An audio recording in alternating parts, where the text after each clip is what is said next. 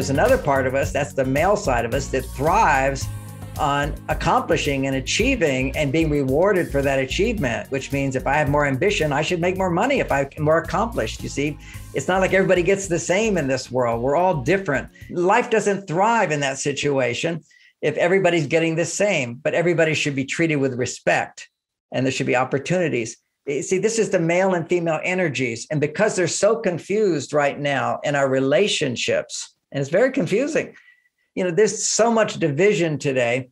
And that's because, on a basic level, mom and dad need to be connected. We got a whole generation of kids who don't even know their fathers.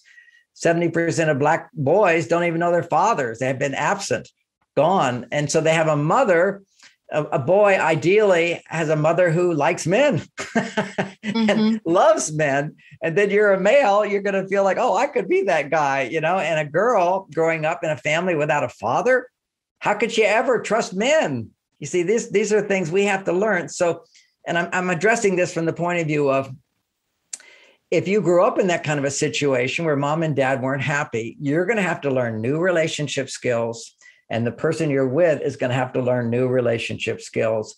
And that's a journey. So you need good guidance. You need good guidance. And the last thing i'm going to say because i know you're going to bring on a lot of other experts on this whole thing and everything experts say i want to suggest that you take it with a grain of, grain of uh, salt even what i say because things can be easily misinterpreted. And i have a thing about people who men talking about men because i don't think men understand themselves at all quite often mm-hmm. It's like I remember once uh, a magazine article said, "Single women, here you get to find out what men and women men what what are men really thinking from uh, 30 uh, 30 different eligible bachelors in their 30s. What yeah. you want to find is what are men thinking from men who've been married, who are in love, who can make a commitment.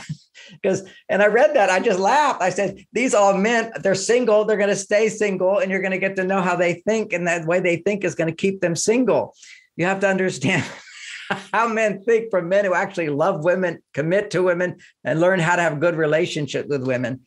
And that's a rare thing. So, you know, Michelle, your program here is so, so needed to bring in different experts in these different uh, presentations that you're going to help people with. And I always happy to be a part of it.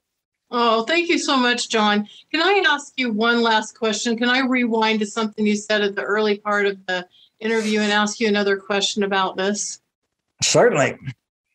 Um, when you were talking about how men, when men have sex with a woman and they they're not necess- that doesn't necessarily mean that they want a relationship with you or that they want to marry you or that they love you and that if that happens early on, they may not have had an opportunity to bond with you in other ways, emotionally, psychologically, mentally.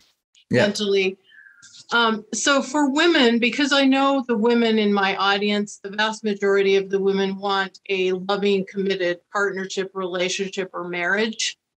How do how do women maneuver in that situation? Because I think there's a lot of confusion and there's a lot of pressure even on in terms uh, and a lot of different different advice on how and when to have sex or how to communicate about that. I guess I'm asking do women have a conversation with a man about what he wants before they get involved with them sexually what's the what's the way to navigate this for women that want uh, a loving committed partnership type relationship well, well, it's it's a big question.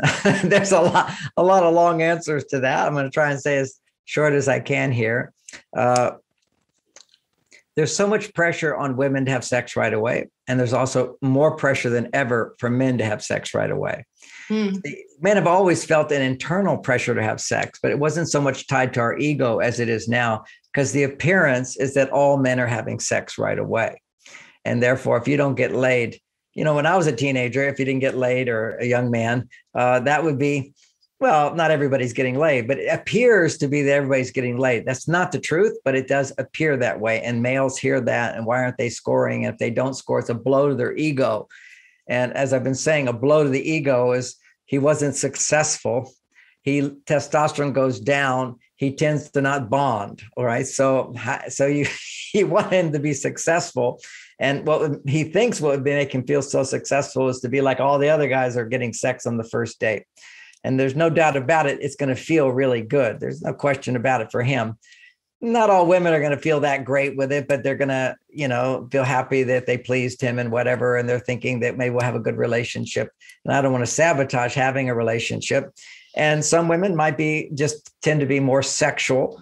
And so she'll have a more a fun time. And so it's a fun time, but it's not going to turn into a long-term relationship.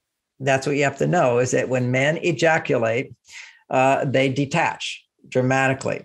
And if there's nothing sticking them in their mind and in their heart and some positive experiences together where he felt successful, he'll feel successful in the bedroom up until after the ejaculation. After the ejaculation, what happens is his testosterone goes down. There'll be a slump, uh, and he it, it literally the well, you can see what happens after you have sex. He rolls over, he's gone, he pulls away, and and and for many women, he doesn't call back and so forth because there wasn't a bonding beforehand to where.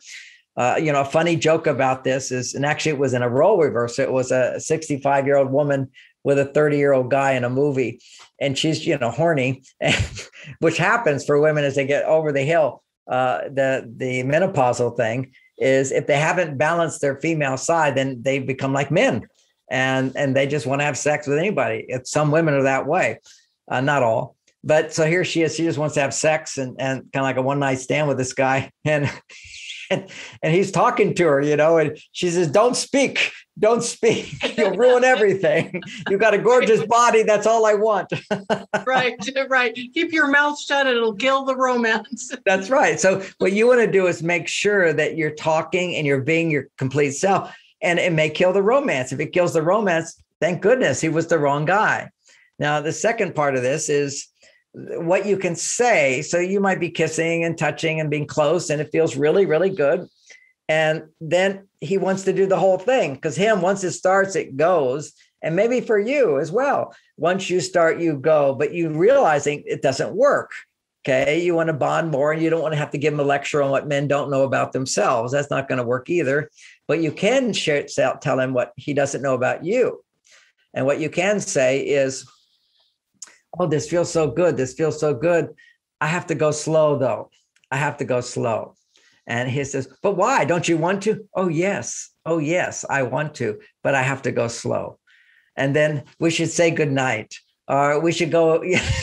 go watch a movie. we should go get out of the room, get get moving. Don't just stay there, have a big conversation, kissing, and then stop. We we need to stop. I love the kissing. I love the kissing, but I don't want to go you know, it's like first base, second base, third base, you know, that old fashioned thing. I'm kind of an old fashioned girl. You can say that, by the way.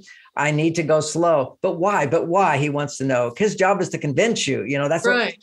pursuing. He's pursuing, he's doing his job. And you just say, Yeah, yeah, I, I want to go too.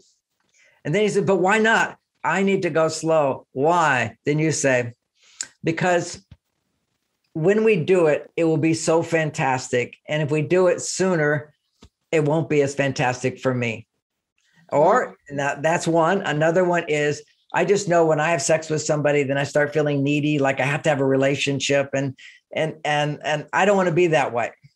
Okay, so I know what happens to me after I have sex, and I get needy or I want more, and I I'm just wanting exactly who you are. You see, these are somewhat flattering statements to him, along along with a big no. And the big key there is how you would say it for your personality. The key in there is to say, Yes, I can't wait to have sex with you. Yes, my body wants to have sex with you right now. My mind's telling me I need to go slow. Uh, and I know it's going to be fantastic. But why do you need to go slow? Well, you know, sometimes I get needy or whatever, but I I, I know I'm I'm really want to do it, just not yet. And he'll go with that because you you satisfied his basic need is to feel that he's got you wanting to have sex with him. Now, I didn't know that until it happened to me, where I was teaching my wife. You know, my wife would say yes to everybody, and then she'd get overwhelmed. And I said, honey, you just have to practice saying no. And, you know, you can do it in nice ways by saying, I'd love to, I can't. Uh, mm-hmm. Uh, but with me, I just want you to practice just saying no as rudely as possible. I'm a tough guy. I can handle it. I'm going to ask you to do stuff, and you just say no. I'm going to say, uh, I'm not going to ask any questions afterwards. I'm not going to make you feel bad. You should practice saying no. It's really a good skill.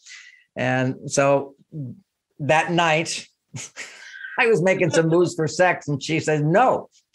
I said, What do you mean, no? she goes, no. I said, why? And she said, well, I'm practicing. I said, oh, oh, honey, can't we just practice on everything else other than this? And she said, no. said, because this is the thing I know you want most.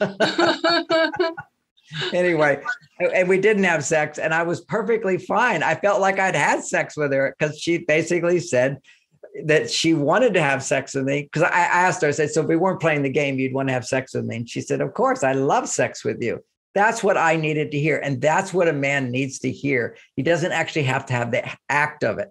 And but his job is to persist. So you have to uh, assertiveness technique is just simply repeat, repeat, repeat. Don't say anything more than. I, I, I know I love to. I get it. Sex is wonderful. And I can't wait to have sex with you, but I need to go slow. And then you'll satisfy that, that pressure he has to score. So it would, well, we didn't have sex, but she wanted to. yeah. Yeah. And then he doesn't feel rejected. And then also a woman can be in tune with what feels right for her. She's not she's not giving it out of pressure or out of obligation or uh, or out of trying to manipulate or control what's happening in the relationship.